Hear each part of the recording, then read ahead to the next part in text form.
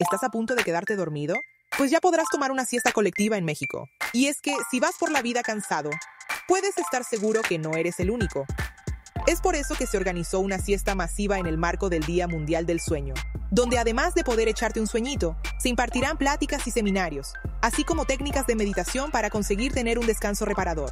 Según la Organización Mundial de la Salud, el 40% de la población tiene trastornos de sueño, mismos que desarrollan otras patologías como obesidad, depresión, diabetes, hipertensión e incluso cáncer. Y es que dormir bien permite mantener saludable al organismo, pues las funciones del cerebro y el cuerpo siguen en funcionamiento. Así que si aún no tienes plan para el viernes, el Monumento a la Revolución te recibirá este 15 de marzo a partir de las 5 de la tarde para promover ese merecido derecho al descanso. ¡A dormir!